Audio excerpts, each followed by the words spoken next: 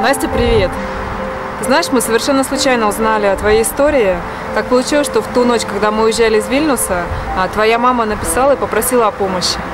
Эм, на следующий день мы приехали к ней, и мы видели ее глаза. Ты знаешь, сейчас не столько ради громадного количества людей, которые тебя поддерживают и желают тебе здоровья и выздоровления, а ради своей мамы тебе нужно очень, очень бороться, очень поверить в то, что чудо возможно, и в то, что у тебя все получится. Мы в тебя верим, поверь, это идет от самого сердца, и даже если ты не знаешь ни меня, ни Тему, ни Лену, ни человека за кадром, но есть громадное количество людей, которые в тебя верят и желают тебе всего самого хорошего. Настюшка выздоравливает.